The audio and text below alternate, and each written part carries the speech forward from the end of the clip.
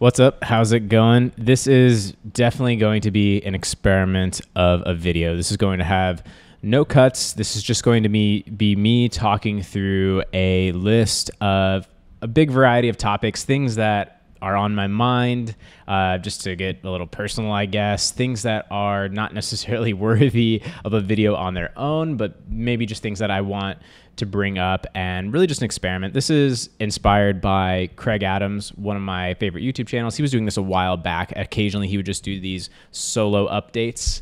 So I guess that's what I'm doing here, and we'll see how it goes. This is for the hardcore people that just want to, I don't know, hear, hear what's going on in my head a bit and um, some random topics. So let's give it a try. Uh, first thing on the list is podcast. So this is a podcast, mic. This is not a podcast. I guess. I mean, what's the difference at this point? But um, I've been saying it forever. You know, honestly, before I ever started a YouTube channel, I mean, I'm, well, first of all, yeah, this no cut thing, I'm not very good at it. Um, we're not cutting, but first of all, I, I, just my mind skips a lot. Uh, before I ever started a YouTube channel, two plus years ago, which took me a year plus to ever even commit to, I thought of starting a podcast even before that. But I just figured it would be hard. Um, I had nowhere to really start. Um, and the truth is, is I enjoy podcasts more than YouTube for the most part. Um, definitely historically over the years, I think in the last um, in the last year, I've started watching YouTube more than usual. But for the most part, I'm a podcast junkie. I just love that format. I love hearing conversations go deep. They go a level lower. They get into the real stuff, and I just love that. So. What I'm trying to say is, I'm finally starting. I, so it's going to be the Matt Loberstein show. It's going to be interviews. Um, a lot of entrepreneurs, this is not an Amazon tips show. So, a couple of you might be disappointed that I care to talk about things outside of Amazon as well. I'm sure there will be some overlap. There probably will be because that's a lot of where my network is. There will be some of that, some, you know, some high level stuff in that area, I'm sure. Some broader e commerce brands and stuff. Some other entrepreneurs that have nothing to do with e commerce. Um, and in general, just stuff that piques my interest. I think the general undertone, the general thing that's going to tie everything together on the podcast is going to be um, improves your life. It's this that's the kick that I've been on for you know five years. So whether it's it could be even health, it could be business, it could be money. Well, money and business that's kind of the same, but you know it could be all these different pillars of improving your life. That is kind of the general thing that goes on, but really it's going to be hopefully just whatever piques my interest whatever i think there's something to it i think that other people will think there's something to it. So that's kind of my thoughts on that. Um, i've definitely overly complicated it which is part of why it's taken me so long but that's kind of how i am when i start things is i overcomplicate it. So I I was going to get into this a little later as well, but let's just say I want to do this as a video podcast, multiple angles, you know, really really high production value, re- like as good of audio as I can manage and make everything look good, sound good, have it be tight. You know, I'm I'm learning about interviewing. I'm trying to get to a point where they will be genuinely good. You know, I don't want to just release a mediocre podcast. I want to release a great podcast that is something I would listen to, which is something that I would share, which is something that people listening to will hopefully share and enjoy and, and benefit from. And not just on a tactical level, but just on a improving or even entertaining to some level, but just there's something to it. I suck at talking sometimes. Like I feel like I'm sucking at talking right now, but we're going to keep going. The point is, I just feel like there's a deeper level to a lot of things. And that's what I want to try to get into on the podcast. Why are people really doing what they're doing? What is the real missing detail in people's story? Things like that. So that is coming. Um, I guess I'll also mention I do already have a podcast with my friend Sam Feldman. Um, that is a fun podcast. It's it's me and him every time. It's a different format, no video as of now, but you know you can check that out. It's called Thoughts from Space Rock. Um, if you like this ramble, there's probably a really good chance that you would like that even better, which is the only reason that I'll mention it here. this ties into the next point, which is the Clips channel. So, with this ambitious idea to do video um, podcasts, I was inspired by Joe Rogan's channel. He has a JRE Clips channel, which is what I personally watch. That's how I consume Joe Rogan's podcasts, which is not really how I consume other ones, by the way. But I feel like since I have this little bit of a kickstart with YouTube, I want to do video podcasts. And then I also want to chop up the podcasts into chunks. You know, let's say I go on a five minute ramble about biohacking and diet. Then out of this two hour conversation, there's a five minute clip that says Matt Loberstein on, you know, why he doesn't eat whatever or something like that. And then that stands alone as a clip. And then let's say I'm talking to Graham Stephan. It can be Graham Stephan on being insanely frugal and it's a seven minute and 30 second clip and it lives on the clips channel and my my hope my idea is that the clips can maybe some of the clips could go semi viral. They could tap into other people's audiences, and those can help feed into the main podcast, uh, which will live on my main Matt Loberstein channel, and then also on any of the audio platforms. But since I'm starting for audio from scratch, I'm expecting the video YouTube component to get the initial push at least, and then some people will probably choose to listen to audio only, and both both are great. In fact, if you, people listen to audio, I think that's awesome. I just think that the video has an edge right now and i think that's kind of where the opportunity is is to do beautiful video and do this clips thing and all of that. So i'm trying to make my efforts worthwhile and give it a real shot by doing all that. So the clips channel is actually already up. Uh, you can check that out. Just type in matt loberstein clips. Um, because I decided I already have this huge backlog of long content that most people have probably never watched. I mean, if it's you know 30 minutes plus, if it's an hour plus, uh, you know, if it's a one of my old Ask Matt live streams for an hour with a million different questions, they probably have most people probably haven't sat through all of that, or a talk that I gave, or just me being interviewed on somebody else's channel, perhaps. Um, there's a lot of that already. So I'm starting, I'm launching the Clips channel by going through those. So, you know, picking out these bits and pieces. There's a lot of Amazon stuff in there because, of course, that's a lot of what I've talked about. So there's that's going to kind of be almost like a database because, you know, I haven't made a standalone YouTube video about every topic when it comes to Amazon, but I probably have answered it at some point somewhere. So there's, you know, going to be minute long clips, three minute long clips eventually with podcasts, maybe even a 10 or a 20 minute clip. If there's like a chunk that is like a deep dive into some subject that could stand alone as a clip, that is the that is the plan with the the clips channel because um, yeah, it's just really easy to binge watch those, and it's more like searchable. You know what you're clicking on. Uh, me too. Like I might not want to listen to a three hour long Joe Rogan episode, but if I see you know Joe Rogan on Area 51, I'm like, holy shit, yeah, I'm gonna click on I, that's a whatever, but you know, it, it creates this bite-sized content. So that's the idea with that. Uh, next subject, a bit of a a bit of a turn. Um, losing my ambition. So this is something that I've talked about fairly openly. I feel, though I don't know if I've ever like just directly addressed it. But I think those of you that have really watched my journey unfold through YouTube and through, you know, through Facebook, through Instagram, through all of the channels that I am creating content, I think you'll kind of see that I was on this momentum of growth, growth, growth, growth, growth. And then I just wanted to chill out a bit.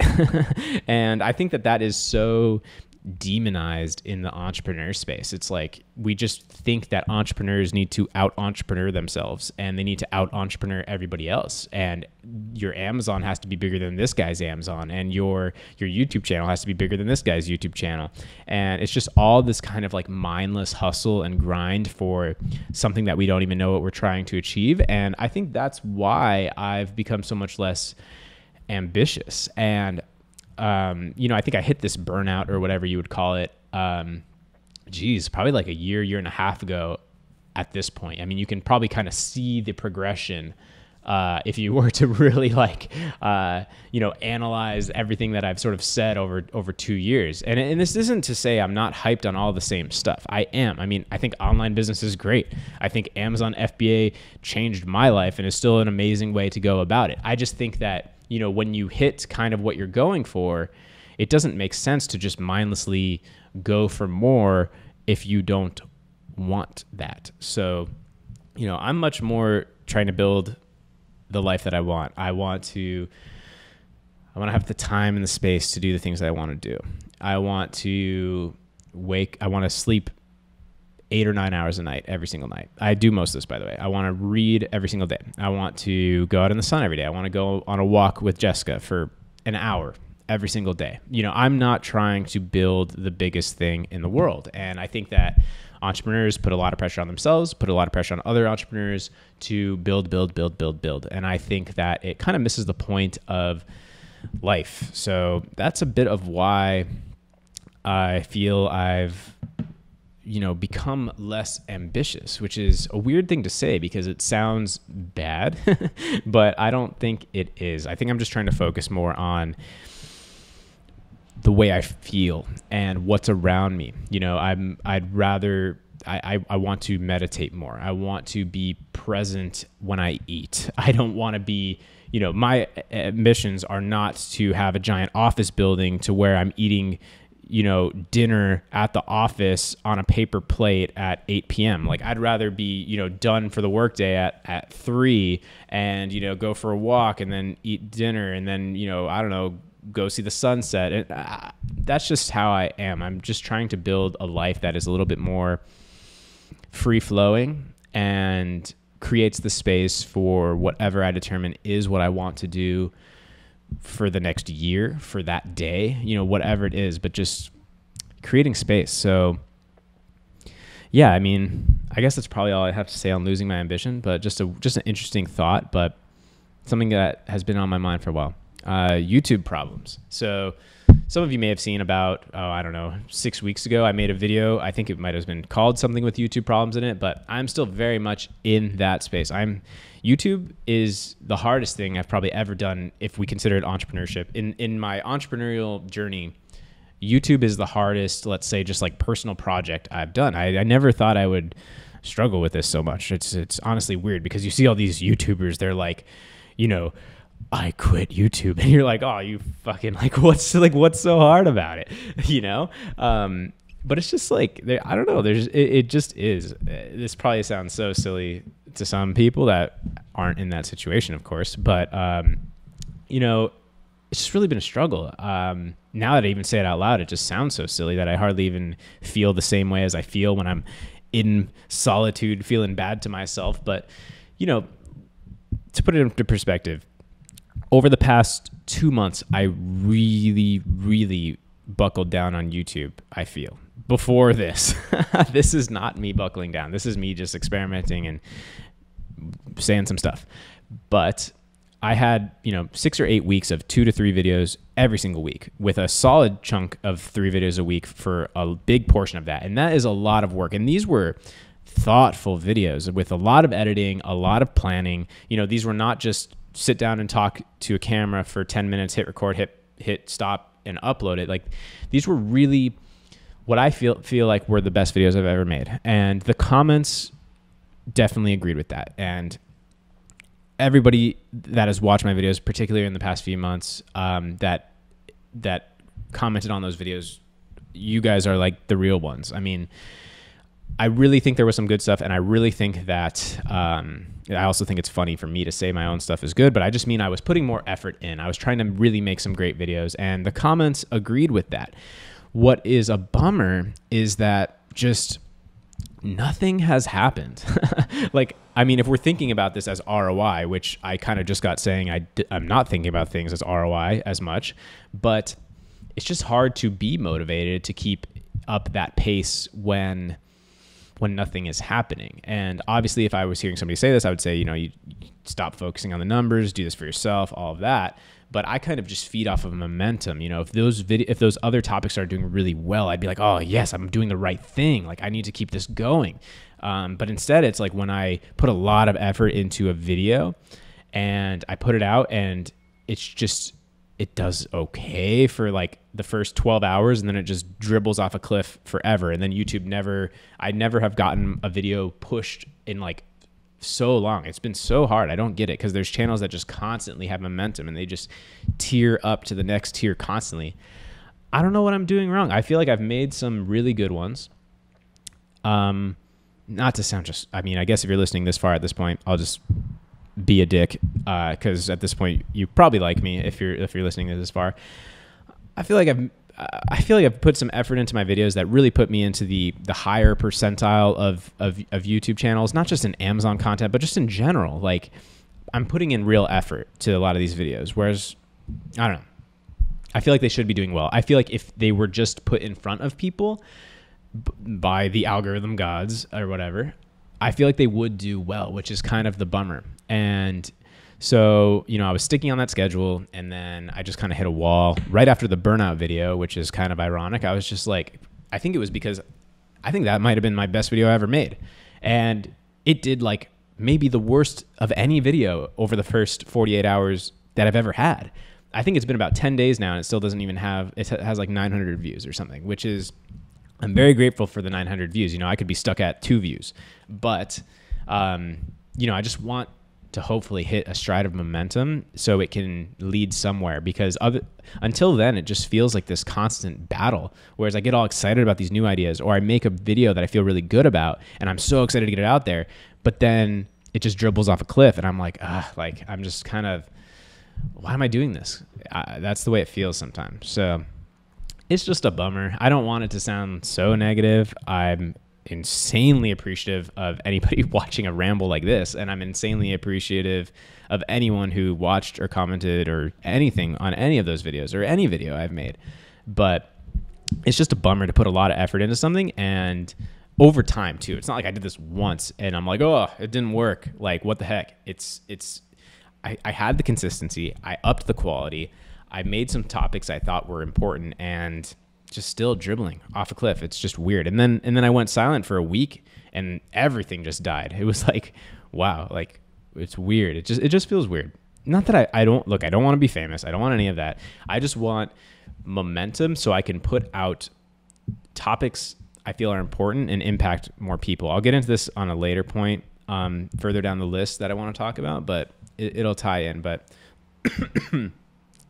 that's a bit of where my head's at with YouTube. Is just like it can make me really bipolar. And again, just to re- reiterate, I don't care about the likes or whatever. I just care about what it can lead to and sort of the feedback loop is what I care about. So hopefully, eventually, one of these videos that I put effort into, um, you know, gets in front of some some some new faces. Um, we'll see. Time anxiety. Uh, this is an interesting one. This is something that has been on my mind for so long. This is something that me and Sam talk a lot about on the Thoughts from Space Rock podcast because I think almost almost all of our anxiety or worries or ambitions too ultimately come down to time anxiety. It's like this idea that we're not going to get to do what we want to do. We're not going to have the free time to explore the interests we have. We're not going to have the time to, you know, do the creative projects that we've always wanted to do. We're not going to have the time or the financial means to travel or something like that. And a lot of the anxiety that I have still now, and I and I see this a lot in the entrepreneur space, and I talk to this a lot with people, so I know I'm not completely crazy on this. Is so much anxiety just comes to like I can't get enough done or I'm wasting all this time on social media or you know I sat and did nothing for 3 hours or like why am I not doing the thing that I know I should be doing? Why am I not doing the thing that I want to be doing?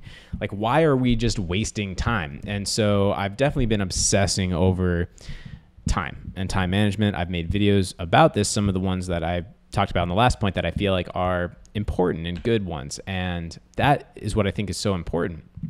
Um, so that's just something on my mind is, you know, trying to be very intentional with my time. Um, I think I have time on a later point too, but whatever. This is a casual video. We'll talk about it some more, some more later. But time anxiety is kind of the concept of we're not going to have time to do the things that we want to do, and that kind of I think drives a lot of what a lot of our anxiety and a lot of what we are doing is just this fear of not having time. We spend we spend our time being afraid for time that we think we're not going to have.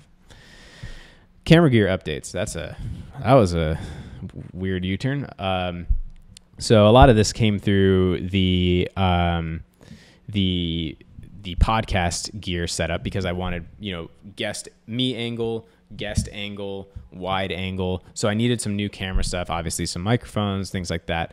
Um, and so for the last year and a half, two years on YouTube, I've been using a Sony a7S II with the 16 to 35 G Master. It's an expensive setup. Uh, honestly, it's probably more than I ever needed, but I was trying to get really legit about YouTube even back then. And for the podcast, I decided to go with two Sony A6400s. They're lower end, but a lot more capable in a lot of ways. They have the the touch screen for focusing. They have the flip screen so you can actually see yourself filming so you don't spend 20 minutes filming a clip and not knowing that you're filming, which is a problem that I had on that camera all the time. I'm also monitoring this camera on my on a phone right here to know that I'm still recording, um, which is something that wouldn't really work with that one except for photos, which sucked. Um, so it's like a really high end camera, but um, so much less capable in a lot of ways. It's full frame. The A6400s are not. So the lens thing changes. So I'm selling the A7S II and that really expensive, really legit lens. I love that lens. But when I got the A6400s, it was just going to be for the podcast. And then I decided, you know what? This is just better for me, for my purposes in general. So I'm actually just now doing two A6400s, which are going to be for podcast and for YouTube, which I've actually been doing for a while. Nobody noticed that I changed. It looks exactly the same. And selling the A, A7S II and the G Master, got a couple lenses for these ones. Um, sold my Canon G7X because now the A6400 is like in between enough. So I was able to just simplify my camera gear a lot and honestly end up with, you know, two setups for, I mean, I, I probably broke even or even made money by downgrading like this, but I feel like the setup is better. Like it's the A6400 is plenty. It's and the autofocus is better. It's so sharp. It has the flip screen. It has the touch screen, which uh, somehow this you know two thousand dollar plus A7S2 does not have any of that. So yeah, they're fantastic, and I'm really happy with that change. And um, smaller form factor, yeah, it, that's kind of that's kind of the changes in terms of my my my kit. Oh, I guess that reminds me. I have so I've had all my gear and kit at at kit.com slash Matt Loberstein for people that are into that stuff, but I guess I need to update it. Oops. Um, yeah, but A6400s, they are they're the move. Minimalism. So right after talk about buying a bunch of shit, uh, let's talk about getting rid of a bunch of shit. So I don't have much to say on this one, but it's just a topic that I've you know, it's it's bubbled up over the past few years for me. Like I've, you know, first heard about it through probably the minimalism documentary, which Matt D'Avella made, who is my maybe one of my in my top few YouTubers now. He's definitely inspiring a lot of the filming style that I'm going for more recently. And um, yeah, I mean, honestly, this one's been on my list for a while. I don't have as much to say about it right now, but I think it ties in with the um, just this general pursuit of of something better for our lives. I think it's the same thing as trying to build an online business. I think it's the same thing as trying to meditate in the morning. It's the same thing as trying to eat healthy. We're all just trying to structure our lives in a way where we're present and we're doing what we feel we want to do, whether that's minimalism, whether that's having enough money, whether that's, you know, traveling the world, whether that's you know clearing your head by meditating for an hour a day, um, whether that's you know doing less and having less on your task list. I think it all just comes down to this essentialist, intentional life. And so, yeah, I mean, over the not too recently, but we've got rid of a lot of stuff. Not that we weren't, we didn't have that much, but the only place we have any clutter is like, you know, this camera closet with all that shit but even that, I just talked about sort of refining that. Some crap in the garage a bit, but for the most part, we have a pretty minimal style of living. You know, I have a few areas that I splurge on. It's not about being cheap, but it's about being intentional about the things that are around me and not just being flooded with a bunch of crap. And you know, this applies to to content consumption. This applies to so many areas beyond just the physical things in your house, right? But the overarching concept is to free up space for yourself. So now another 180 from minimalism to six-figure Porsches. Uh, I want to talk about this for just a minute. I am I've been extremely obsessed. Um, a couple updates in this realm. Um, I have the Porsche Cayman GT4. That's what I'm driving. I just got it back from BBI, where I spent entirely too much money on getting the roll cage and harnesses and everything for like the safety of uh, driving it on the track, which I've already done with the car, but I'm getting it you know more outfitted for for safety, and it also looks super cool. So just got that back, spent a lot on that, um, but it's for safety. So that's going on. I've been incredibly obsessed, and there's something I'm doing that is potentially going to lead to a new business. This is not the next point quite yet. They're kind of interrelated, but I've been particularly obsessed with the paint to sample cars. So this is the Porsche does their, um, you know, basically custom order colors. I won't bore the people that don't care about this, obviously there's more for the nerds out there that know what I'm talking about. I know it goes a lot more specific than this, but let's just say any unique color Porsche, it's this paint to sample thing, and people nerd out about all the rare colors, and and so do I. I started this Instagram account called PTS for sale, paint to sample for sale. Excuse me, I'm talking for a while, um, and it was such a need that didn't exist. Like not a need, but um, I wanted it. You know, there was nowhere you could just see these cars for sale because it's not like something you could sort search sort by on like an auto trader by model because it's very particular and nowhere it did it. So I started tracking these cars and posting them on Instagram and it has like almost 7,000 followers, um, not even three months in. I mean, it's just taking fire. And uh, it's really interesting because I think that could potentially lead to a very interesting business if I start somehow brokering these you know 200 300 400000 dollar cars or something there's been people that have already offered fee finders fees and things like that. I just started it for fun but it clearly is like onto something. I have no doubt that this is going to be a business an accidental business in another you know 6 to 12 months. We'll see where it goes. But for anybody that is a porsche or car fanatic you know check out pts for sale. Go down the go down the porsche skittle rabbit hole uh, my new business. This ties in because, uh, you know, ties into the losing my ambition thing. I've been trying to do more things that are I am excited about. One of them being the podcast that is coming. Uh, one of them even being the PTS for sale account, which is just fun. Uh, not really something I started with ROI in mind, but just a project. You know, just a fun project to pursue. And another one. because I've been so obsessed with cars and Porsches, especially in the last year, um, I'm starting a car parts brand, actually. Uh, I won't get too into the details just yet as things are sort of still in production. I just hit the most ridiculous wall I've ever hit in um, in getting a product produced, which is that we had everything like ready to go, and the supplier wants to give up on it because they think it needs to be a little too precise for them, and they're I guess they're worried that they can't hold up the standards that we want. And I actually think they can, but it's just weird. I've never been in that situation where the supplier wants to bail. So that just came up and kind of, uh, you know, screwed up our plans because I thought we were literally about to start the production run. Um, that's weird, but dealing with that, got a lot of other ideas in the works for it. But it's an interesting space to get into because we're talking about high price points for the most part.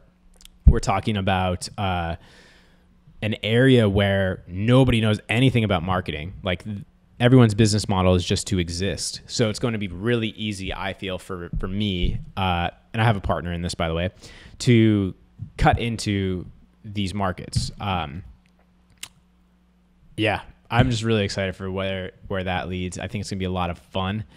And other than this recent hiccup, it's been just a lot of fun. And then all of a sudden, I was like, oh shit. But I think we'll figure it out. Um, what else am I working on? So, um, I mean, of course, giving. I mean, I'm so bipolar with YouTube. I, a week ago, I was saying I, am giving more effort than ever to YouTube. I think I still am, but I definitely took like a bit of like a 10 day or so uh, break there, which was weird because I was really trying to like really give it a go, but then just hit that hit that bummer. So, um, YouTube, of course. Of course, I am still running everything that you already know about. Um, I haven't been as focused on the growth of it because I'm more interested in maintaining that as a lifestyle business that funds things and frees up time and energy for other things, which is the whole point. And I don't know why I even feel weird saying that because that should be the goal. But I feel like there's such expectation for growth, growth, growth, growth, growth that it almost feels weird to say that. But that's the that's what I want. that's what I should be doing. That's what everyone should be doing once they get to that point. So, um, you know, I'm I'm of course still doing. Uh, I'm still very interested in that model, and I'm still doing everything with it, and I'm still teaching it. I'm I mean I enjoy that more, to be honest, um, than you know continuing to poke around in PPC after four years. Uh, so Zero to Brand is going to have an update relatively soon, uh, right after I finish up this project, which is I've been working for a long time on an in depth uh, free training model. So, learning about, um, well, from my end, learning about copywriting and all of that, but also creating this free, very valuable training that will both help people learn about Amazon in a way that is not crappy, like a lot of what's out there. And it will also hopefully lead to zero to brand for some people.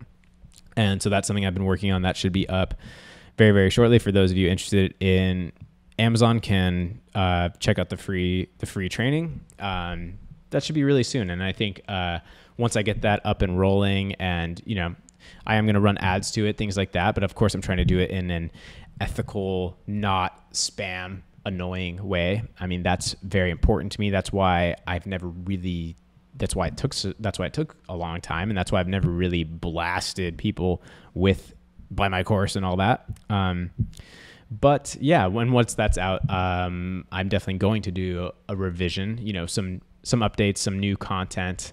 Uh, nothing is nothing is out of date. Just like little things like you know, I don't know, something in there that said 2018 and now it says 2019, like the the two cent difference in fees or whatever, or just like a little uh, UI change, stuff like that. I mean, it doesn't really matter, but I also just want to add new valuable content to it, which is the main plan, uh, which will be my project for a bit once I get this free training really rocking and rolling. Rocking and rolling. That's not something I would ever say unless there was a camera on me. Isn't that weird? Uh, multiple channels. So this is what I alluded to earlier about part of why I do have so much ambition for YouTube. So you know about the Matt Loberstein channel, you know about the Clips channel. those I hope could be huge because just talking about those alone, I would really like to talk about a large variety of topics, things that I just think are important kind of like how I mentioned everything I said about the podcast basically. The same can apply to YouTube. Important topics things that I think are they that things that I think need to get out there and I think others would feel the same way. And I want that platform to be able to do that.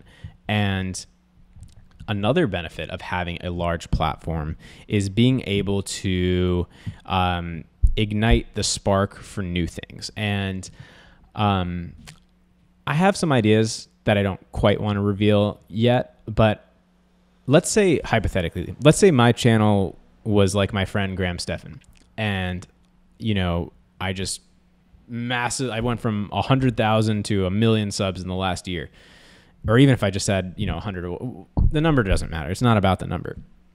But uh, I'm checking on the recorder, by the way, if you wonder why I'm looking there.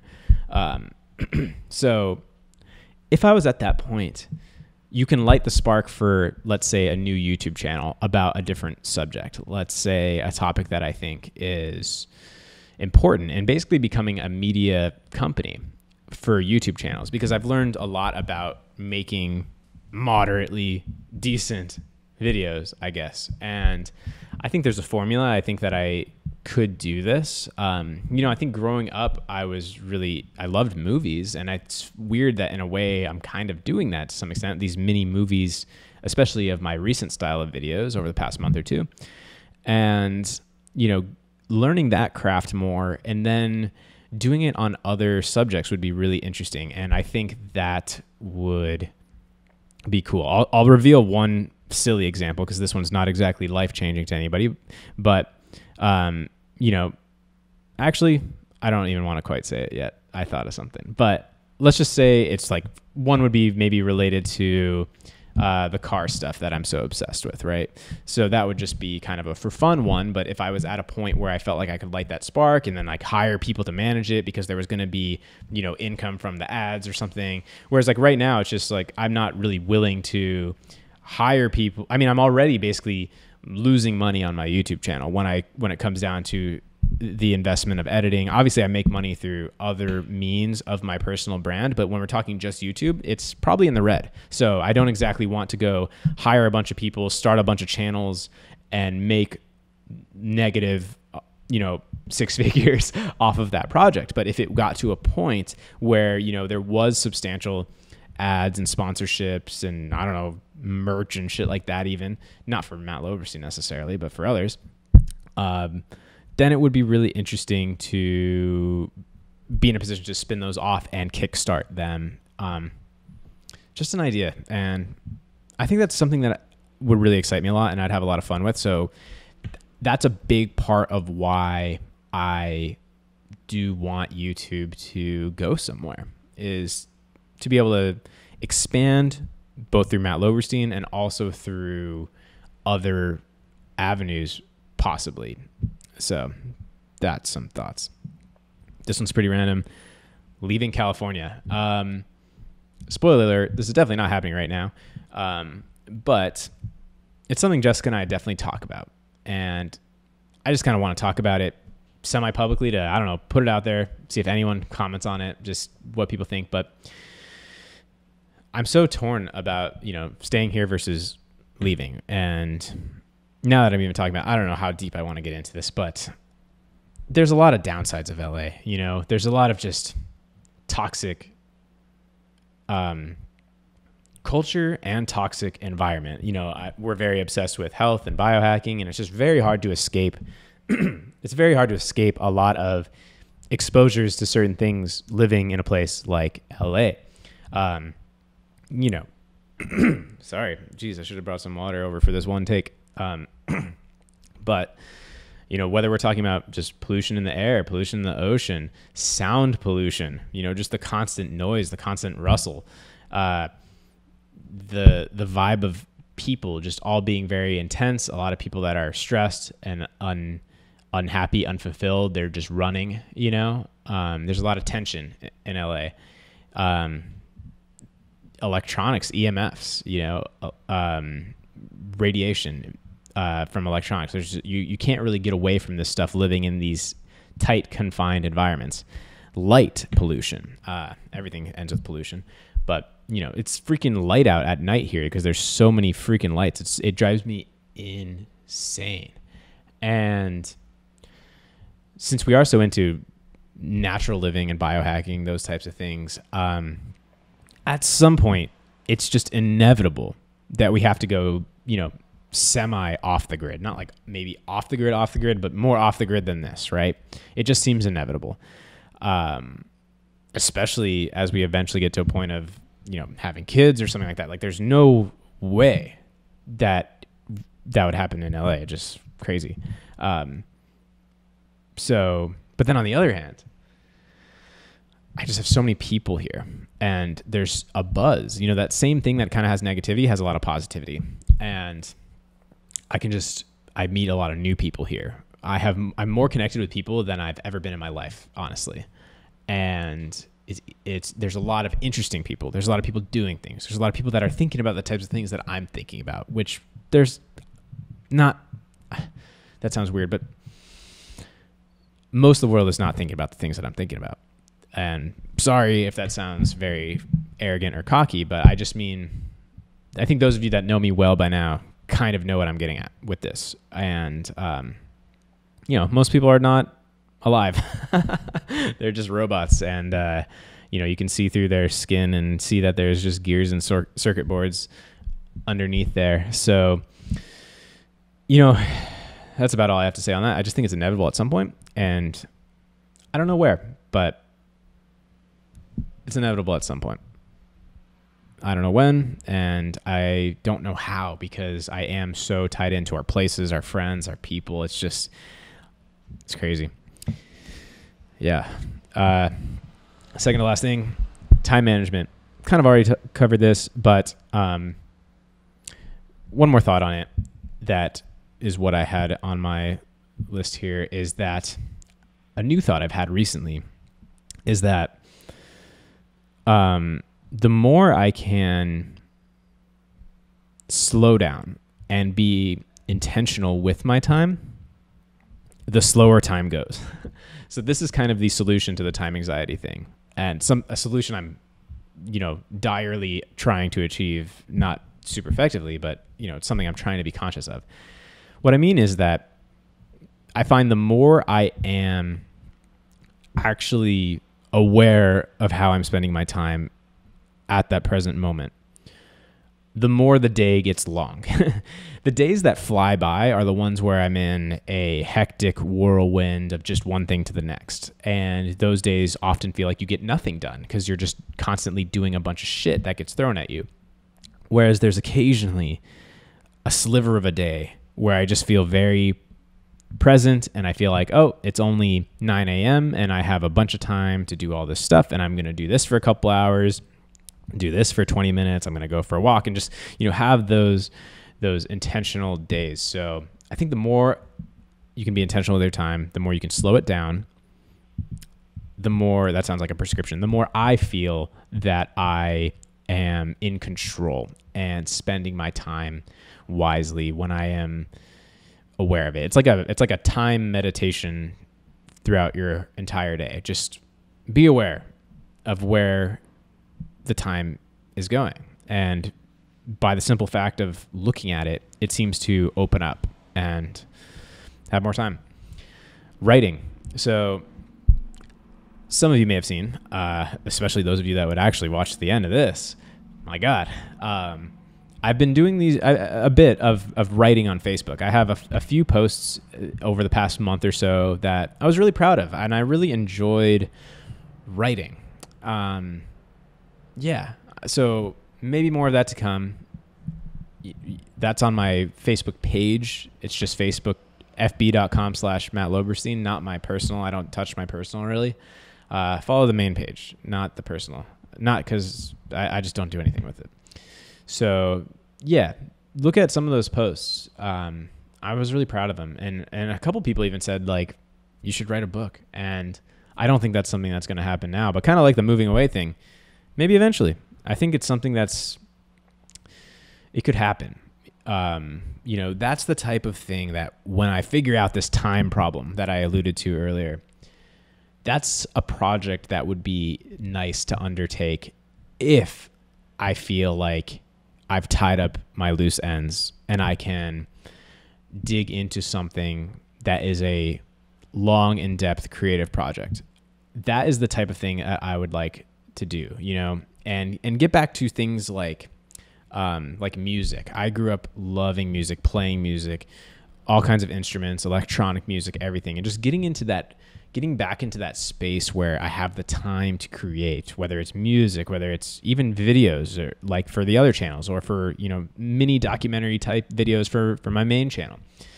Those creative projects, I think, are what give me life, you know, having interesting conversations, the podcast, stuff like that. So I think that those posts could almost be like the seeds of a book.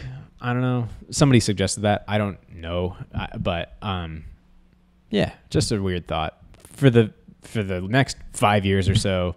Let's just say that's probably not going to happen. But I would like to keep these posts up. You know, I'm trying to put thought into them. I think my writing styles got better. I think this also ties into copywriting, which these posts are not sales. These are nothing. There's not. They're they're they're just thoughts, right? They're just things that I think are important, similar to some of the videos I've made lately. You know, stuff about time, time anxiety, for example, and uh, you know, social media and uh, distraction, things like that. I've written about, and um, yeah, I mean, I'm enjoying it. So i will probably do a bit more of that, and yeah, so I think that's it. this was this was interesting. This was just a a uh, I don't know a 45 minute therapy session with myself. Um, interesting. So yeah, if you um, you know, I'm not gonna ask anybody to subscribe or smash the like button on a video like this, but if you're watching this to the end, like my God, like whoa, whoa, you are. Let me know. Like, uh, send me send me an email so I make or no, you can leave a comment. Do do something to make sure that I know that you actually saw this. Let's just say that. Um, I'll be looking for it, and I'll there'll probably be like zero of them. That's fine, but yeah, just I just really appreciate all of you that are really engaged, and I think a lot about with the time anxiety thing. I think a lot about how I spend other people's time, right? And my goal would be that I really do have people's attention, but that I'm never wasting it. That's my thoughts on that because I think so much shit out there is a waste of time. And so much shit out there you don't need to be consuming. And it's just mindless distraction. So the more that I can put something out there that I feel good about the fact that people are spending their time on consuming it and hopefully being better for it, that is a worthy goal for me, I think. And that's why I want my YouTube to grow. That's why I want to do this podcast. That's why I'm doing any of these content things at all is I want to put out messages that I think can help people, can impact people, can just make people a couple percent better in some way, a couple percent happier here or there, and a couple percent more more thoughtful about things. So, yeah, um, that's the way that I think about it. So, yeah, all right. I don't know how to wrap this video up. So, if you're actually there, really, really, really do appreciate you, and I'll see you soon.